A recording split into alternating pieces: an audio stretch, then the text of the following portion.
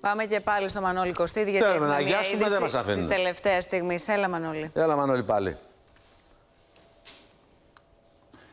Εγώ για καλό δεν εμφανίζομαι. Ε, μα δυστυχώς. είναι ολοφάνερο, ναι. Ε, ναι, ναι. Λοιπόν, ο Χουλουσία Καρ, ο Υπουργός Άμυνας της Τουρκίας, με όλη τη στρατιωτική ηγεσία της Τουρκίας και ο αρχηγός του στρατού Ξηρά, του ναυτικού και της αεροπορίας, όλοι οι αρχηγοί, αυτή τη στιγμή βρίσκονται στα ελληνοτουρκικά σύνορα στην Αδριανούπολη, κοντά στον ποταμό Άρδα, σε αυτό το σημειο όπου εκεί ε, επιθεώρησαν και τα μέτρα που έχουν ληφθεί, λένε, για ε, και στρατιωτικά, αλλά και κυρίως για την, ε, να εμποδιστεί παράνομη μετανάστευση. Όμως εκεί ο Χουλουσιακάρ, αυτό εντάξει, είναι ένα ζήτημα ε, τουρ- ε, που αφορά την Τουρκία, η επίσκεψη του Χουλουσιακάρ, όμως εκεί ο Χουλουσιακάρ στόχευσε την Ελλάδα. Την κατηγόρησε για, ε, ε, για επεκτατική πολιτική και προβοκατόρικη συμπεριφορά.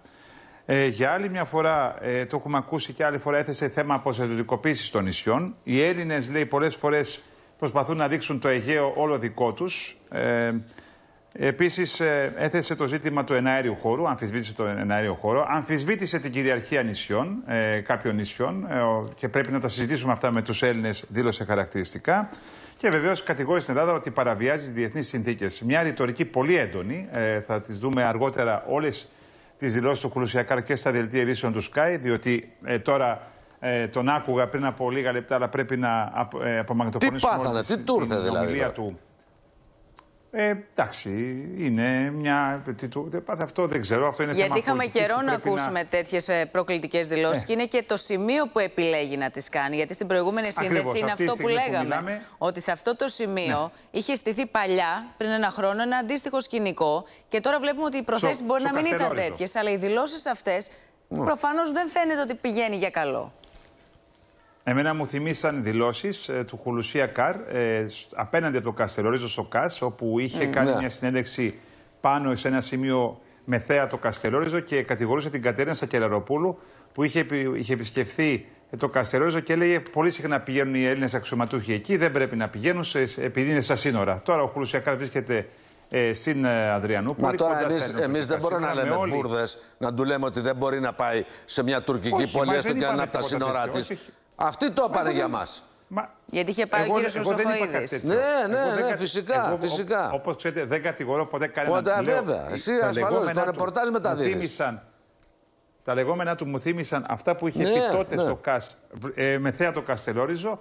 Έχει την ίδια ρητορική, ακριβώς την ίδια ρητορική εναντίον της Ελλάδος. Όμως το σημείο που επιλέγει να κάνει τις δηλώσεις έχει ενδιαφέρον. Είναι ακριβώς στα ελληνοτουρκικά σύνορα. Με θέα την Ελλάδα έκανε αυτέ τις δηλώσεις προς Και θέλουν, σόν και καλά, να αποστρα- όλη τη στρατιωτική ηγεσία. Να αποστρατιωτικοποιήσουμε τα νησιά.